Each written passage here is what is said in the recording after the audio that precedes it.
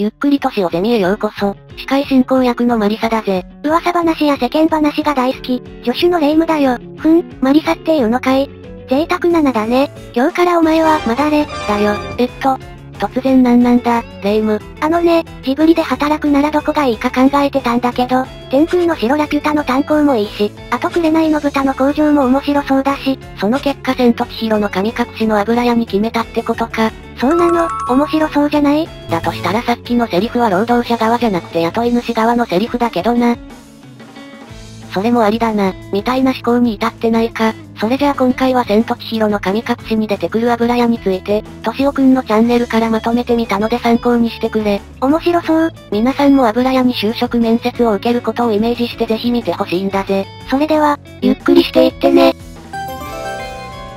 まずは油屋への行き方についてだ。レイムはあの異世界へ入る方法を知ってるかえっと、確か山道を抜けた先にある変なトンネルを抜けると、あの世界に行けるんじゃなかった。そう思うのが普通だよな。そういう言い回しだと実はそうじゃないってこと実は異世界の入り口はもっと違うところにあったんだ。油屋で働くなら当然油屋へ行く道を把握してないと、採用面接も受けられないからな。油屋への行き方、帰り方について説明するぜ。お願いします。これね、あの、一番最初にですね、父親と母親がトンネルに入っていくシーンです。周りが赤くてモルタルでペンキで塗られています。で、これ最後です。もうほとんどラストシーンですね。えー、この世界から帰っていくところなんですけども、同じトンネルでありながらですね、石人はすでにただの石の車止めになっていて、で、えー、石が積み上げられてて、周りがもう木でいっぱいになってる。つまり、あの、映画の頭とお尻ではですね、違うトンネルなんですね。だから、もうこの段階で、あの、実はいわゆるこう、化かされているっていうのですかね。あの、もう、あの、不思議の世界に入ってしまってるんですね。だから、あの、トンネルを抜けたら不思議な世界ではなくて、実はもうトンネルのところから変な世界だったと。じゃあ、その変な世界になったのはどこなのかっていうと、おそらくは、祠というのを通り過ぎたあたりから神様の世界に入ってしまったということなんですね。なるほどね。行きのトンネルと帰りのトンネルが違うなんて、言われるまで全然気づかなかったわ。でもこれで油屋に行くのに問題ないわね。ところがどっこい、まだ注意事項はあるぜ。なになに時間の問題だぜ。面接時の面接時間や、採用後の出勤時間にも注意が必要だ。少し余裕を持って油屋に着けば問題ないでしょ。それが一筋縄でいかないのが油屋なんだぜ。ほほう、また興味深い内容ですな。では次の動画を見てくれ。階段を登っていくと不思議な建物にあります。立派な松が生えていて、ストローがあって、その向こうに赤い欄干の太鼓橋があって、その向こうにですね、油屋というですね、巨大なまあ、お風呂屋さんが見えます。太鼓橋があるのはです、まあ、実用性もあるんでしょうけども、何よりも異世界の入り口、いわゆる新鮮思想っていうんですか。中国で1000人が住んでるところに行く橋は、必ず真ん中が盛り上がった太鼓橋がかかってるという法則があるんでですね、日本の昔のお金持ちが日本庭園作るときに日本庭園って言いながら作ってるのはあれ中国の1000人が住んでる神様の土地っていうのを作ってるんですね。だから必ず橋のミニチュアとか置くときは反り返ったですね、太鼓橋を置くんですけど、その太鼓橋の巨大なものがあって、その向こうに何か絢爛豪華なものが立っているわけですね。この太鼓橋を渡って湯屋の前に行こうとするとですね、白い服を着た少年、白が現れて、戻れこっから先に行ってはいけないっていうふうに言うんですね。画面の正面に向かってちょっと近づきながら言うんですけども、白の後ろの影が急激に伸び始めます。このすごい勢いで夕日が沈んでるから、後ろの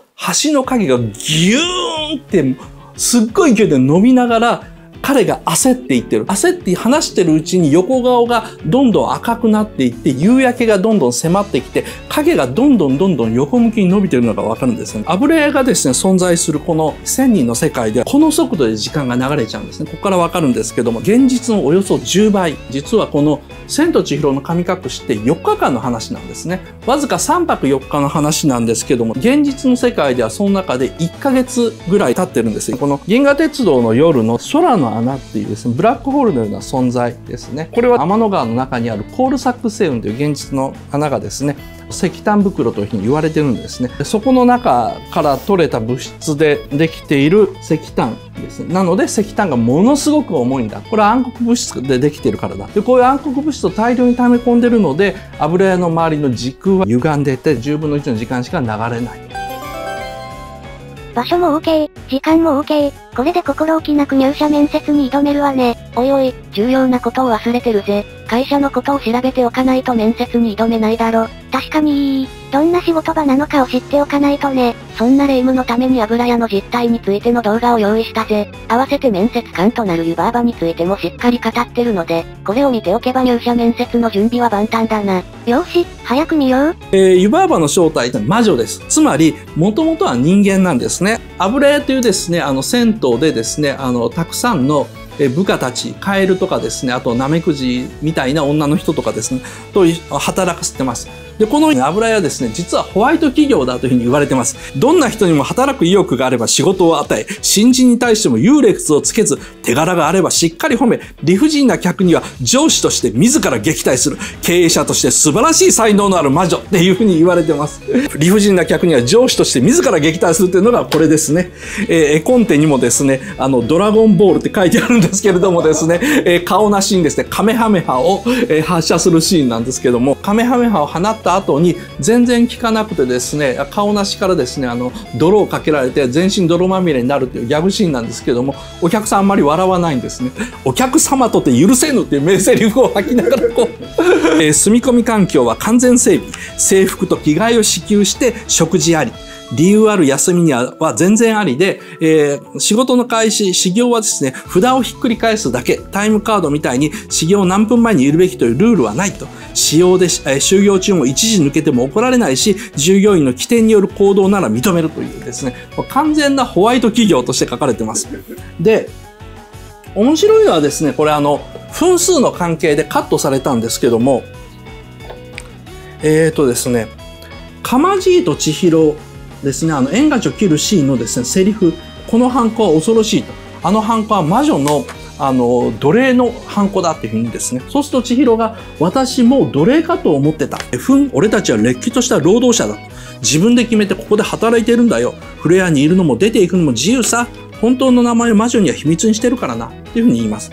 つまりこの、自由契約なんですね、実は。笑えた。油屋の実態が分かったというか、油屋面白すぎ。これで心置きなく油屋への入社面接が受けられるか。うん、油屋のことがよく分かったよ。インパクトが先行してあんまりよく分からなかった湯婆婆についても、確かに、って納得できることも多かったし、改めて油屋の魅力がよく伝わった動画だったよ。この動画を通して千と千尋の神隠しがより楽しく見れると思うぞ。皆さんもジブリのここで働いてみたいとか、この人が上司だと楽しいとか、思うことがあったらコメントしてほしいな。千と千尋の神隠しに関しては他にも、荻野家の謎についてとか都市伝説にまつわる考察動画も上げてるから、もしよかったら概要欄の URL から見てみてほしいんだぜ。それじゃあこの動画はこの辺で、次の動画も、ゆっくりしていってね。